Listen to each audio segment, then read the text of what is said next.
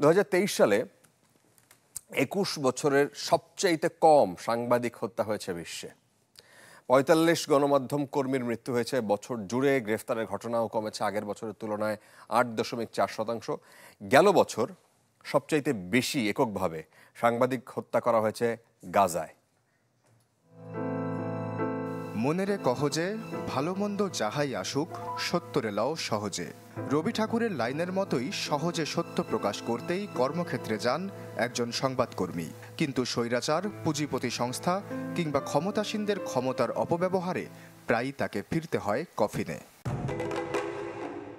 এই বিষয়টি আরও জোরালো হয় তথ্য অধিকার নিয়ে কাজ করা প্যারিস ভিত্তিক অলাভজনক প্রতিষ্ঠান রিপোর্টার্স উইদাউট বর্ডার্স আরএসএফের সমীক্ষায়। তারা বলছে গেল একুশ বছরে কর্মক্ষেত্রে প্রাণ গেছে প্রায় আঠারোশো গণমাধ্যম কর্মীর।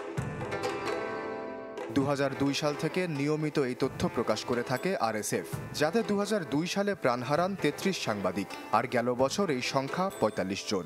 যদিও ফিলিস্তিনি জায়নবাদীদের চলমান হামলায় নিহত সংবাদকর্মীদের সবাইকে এই তথ্যে অন্তর্ভুক্ত করা হয়নি। ফিলিস্তিনে এখন পর্যন্ত তেষট্টি সংবাদকর্মী নিহত হলেও মাত্র সতেরো জনের তথ্য নিয়েছে আরএসএফ। তাদের দাবি সংবাদ সংগ্রহের কারণে নয়, ভুল জায়গায় ভুল সময়ে থাকায় ওই সংবাদকর্মীরা নিহত হন।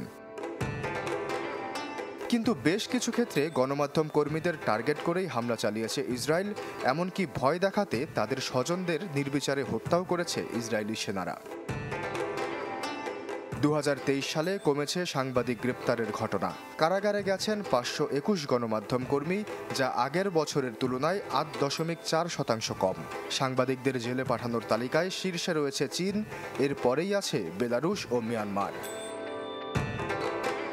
আরএসএফ বলছে দু হাজার তেইশ সালে বাংলাদেশে প্রাণ গেছে তিন সাংবাদিকের। গ্রেপ্তার করা হয় ছয়জনকে আশ্বাস চৌধুরী, চ্যানেল টোয়েন্টি